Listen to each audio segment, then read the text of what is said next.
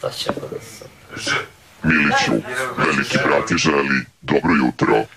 Dobro jutro, veliki brate. Da li je jutro dobro i za tebe? Jutro je izvrsno, jer treba da počne. A sve što treba da počne daje nadu. Znaš, brate, Da li sinoćna veče daje nadu za dobro jutro? Ova sinoćnje večer daje nadu, a meni daje daje svaku večer zato što imam tu moć da unaprijedim sadašnjost i kad ne valja. Brate, Da li si spreman da nastupiš sa Majom Nikolić? Mislim, psihički da li si spreman? ne, ja sam psihički spreman. Ovo što se mi svađamo, to sa profesionalnošću nema veze. To je život u kući, to su neke njene falinke koje ću ja da ispravim u pjevanju. To se neće primijetiti. Nego ja imam prijedlog, brate. Ono što se nam odabrao, ono ne valja ništa. Ja imam pjesmu pravu duesku s kojoj Uh, s tom pjesmom sam nastupio s jednom pjevačicom i na Budvi i na Ohridskom festivalu i pjesma je prava, eurovizijska, tekst je afirmativan, ljubavni. Ljubav će da se desi, nikad ne reci nikada, srce moje i tvoje jedno drugom pripada. Tako ide refren. Upravo zbog Maje i zbog konotacije. I tu pjesmu treba da zovnete moju ženu, ima čak i matrica i fino pustite matricu i nas dvoje otpijemo. Ja sam pitao Maju, Maja je pristala. Miliću, Ja. zbog čega ti ne odgovara predlog velikog brata? Prije svega Zajdi, Zajdi, pa onda Michael Jackson. To je, mislim, to su takve babe i žabe. Onda Zajdi, Zajdi je toliko ispjevana i toliko Maja inače pokazuje mišiće. Ako hoćete da ju karijeru propastite, da ne može ništa da zaradi i da svoju djecu ne može da prehrani, onda to uradite. Maji treba hit pjesma, ona je mene pitala za hit. Ja imam hit za nju, ali kad joj ponudiš hit, onda kaže nije u mom fazonu, opet se pojavi ta falinka u mozgu i ta. Ja sam onda rekao, u tvom fazonu ne može biti hit. Mijenjaj fazon! Pardon, red. Molim. Da li misliš da Maja ne može da otpeva Zajdi, Zajdi? Ne, može, svako može da otpjeva zajdi, zajdi. A samo Toše Proeski je otpjevao pravo.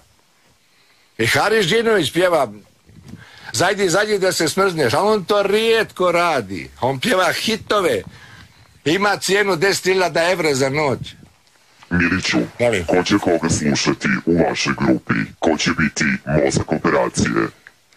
Zna se ko će biti mozak operacije. Milić Vukašinović. A šta će tu Maja raditi? A ne, ja, nju, ja njoj treba inače da ispravim neke, neke stalne greške koje ponavlja kad pjeva.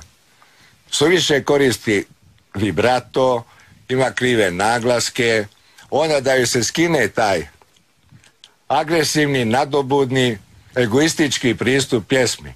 Ali bez osnova, bez podloge. Miliću, Molim. po tvom mišljenju, da li se Maja sad u kući ponaša drugačije nego kada je bila članica VBB-e? A ne, ona je, ona je već i u, i u štabu VBB je bila, mislim krenula je već da ispoljavate. Sve zato je bilo onih, onih sukova. Ja sam njoj zaista ponudio jednu divnu, mislim ne kajem saradnju, nego otvorio sam se za jedan divan odnos, međutim ona zaista ima tu ima tu falinku da Mislim, ne mogu da provalim šta se dogodi u njenoj glavi, da onda počne samo da kontrira i da je to kontriranje smisao i da je to ispunjava, zadovoljava, mislim što je očito falinka. Mada to ide sa kompleksom, obično kompleks to radi. Miliću, Molim. šta misliš o odnosu Maje i Vendi? Ko dominira u tom odnosu, a ko se koga plaši? Ma ne Maja toliko toliko na nebulozan način ide svima na živce da je mislim da onda bespredmetno ostaje pričati o tome ili porediti. A Vendi opet, Vendi je moćnija u tom smislu. I Vendi, mislim sada neće, sada ona ide na na uklapanje u u, u kuću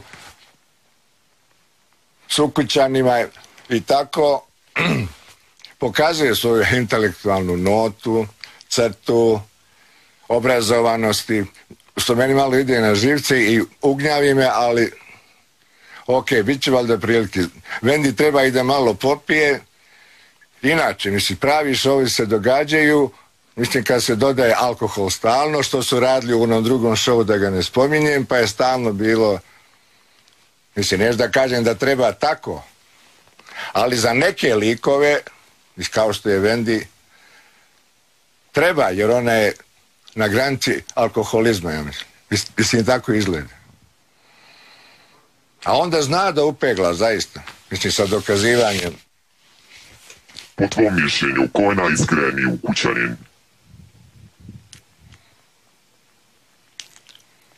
Pa dobro, naj, najiskrenije, najregularniji, najkorektniji, najsretniji, mislim, Dragutin. Ja sam ga zato htio i, i da izbaci, jer reality show nije ni za davanje nekome lovorika za, za njegov za njegovo životno djelo. Reality je da zabavi ljude dok traje. I onda nema tu milosti, da mi je rođeni brat ili sestra ne pravi li show, nije li dojmljiv, interesantan, izbaci ga je zdravo. Nema tu, mislim. A, a ko je najiskreniji, Nevena je iskrena, ona je takva, ona je kućno dijete, imamo divnu relaciju i mada mislim da je Cindy isto iskrena, ona je takva, ona je vrlo introvertna, nije ekstroventna i to je vrlo iskreno. Ako neće da se nasmije, neće taman ti provalio najljepšu šalu,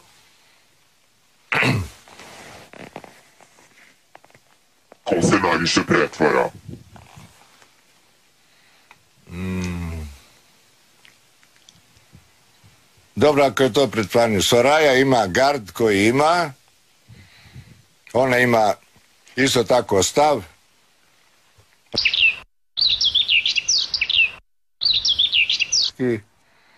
Da budem donja, mislim,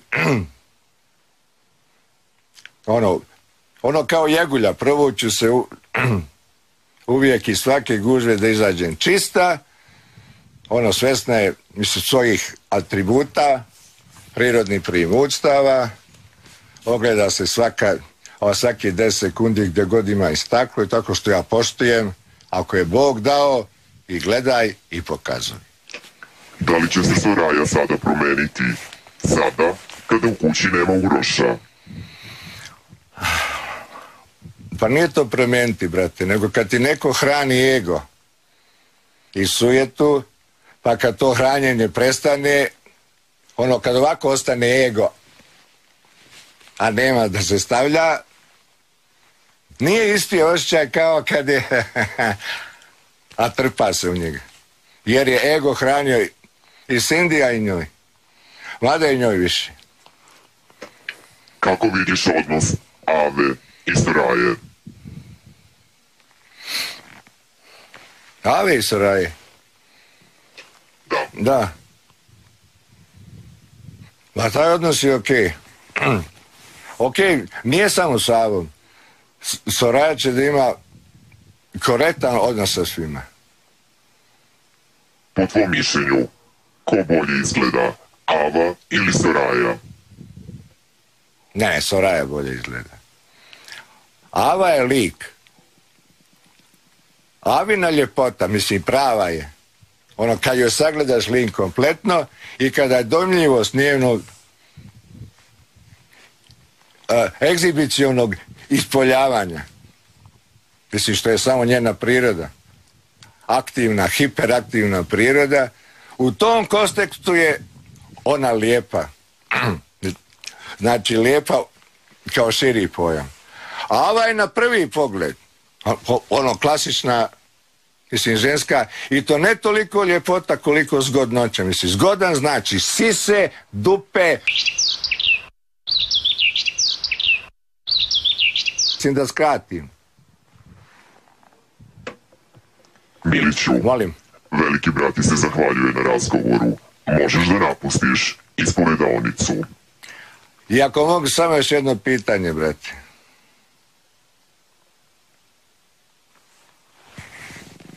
Da li mogu da pitam nešto? Izvoli Miliću. Ajde vidiš za ovu pjesmu da mi javiš i molim te da nam kafu i ono što smo poručili nabaviš. Nemoj da nas ovaj, tretiraš sa nepoštovanjem. Jer kad te neko tretira sa nepoštovanjem, radit će sve izvršavati ono što moraš, ali će se osjećati bijedno. Zato nam kafu i sve ono što smo napisali. Jer sledova